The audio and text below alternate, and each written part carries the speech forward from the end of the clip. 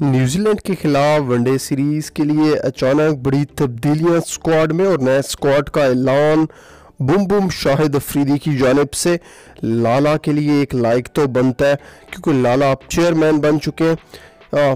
In fact chief selector بن چکے ہیں۔ لالا کے پاس چیئرمین کی بھی آپشن آئی تھی اور ان کے پاس ہمیشہ سے ہی اس طرح کی آپشنز رہتی ہیں، پر لالا بہت زیادہ بزی ہوتے ہیں۔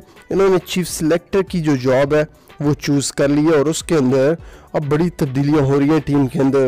سارے اگریسو پلیئرز نظر آئیں گے۔ Sharjeel number one number two Fakhar Zaman number three Imam ulHaq number four captain king Babar Azam number five Azam Khan.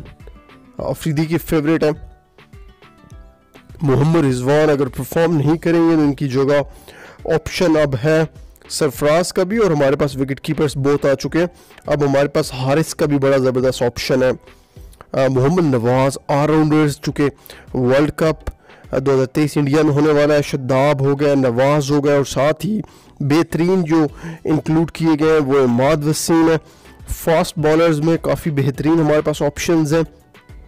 شاہین شافریدی فاسٹ بالر حارث روف اس کے علاوہ فاسٹ بالر مین دھانی اور ساتھ ہی Naseem Shah one forty plus clock کرتے ہیں اور last پہ لالا کے favourite bowler Mohammad Amir.